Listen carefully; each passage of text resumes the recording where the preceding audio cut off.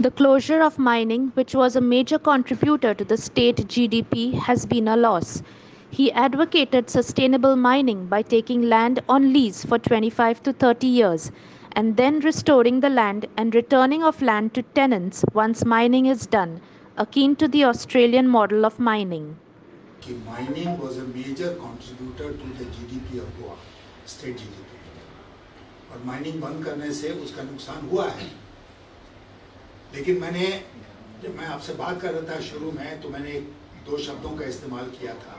sustainable mining mining बंद करने की ज़रूरत इसलिए पड़ी क्योंकि उससे पर्यावरण को नुकसान हो रहा था ज़ाहिर है कि हम इस तरह की माइनिंग भी कर सकते हैं जिससे कि पर्यावरण को नुकसान नहीं हो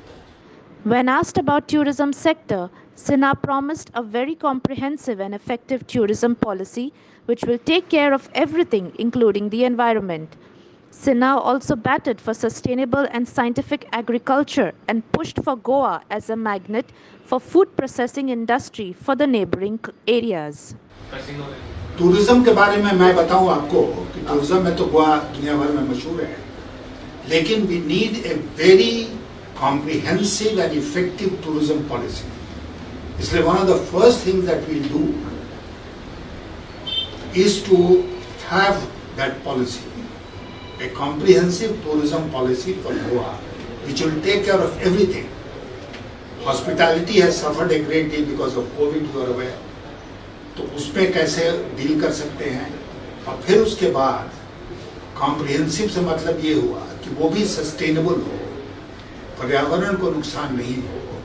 और टूरिज़्म को भी बढ़ावा मिले इस तरह की एक पॉलिसी हम लोग बनानी पड़ेगी